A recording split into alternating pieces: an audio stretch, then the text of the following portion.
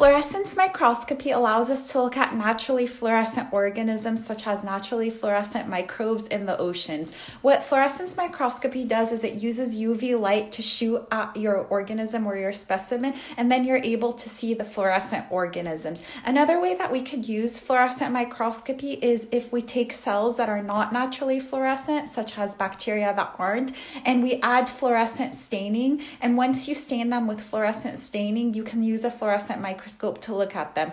The only issue with that is sometimes the fluorescent staining, the fluorescent dyes can harm your organism, but it may not be an issue if you just care to look at the organism.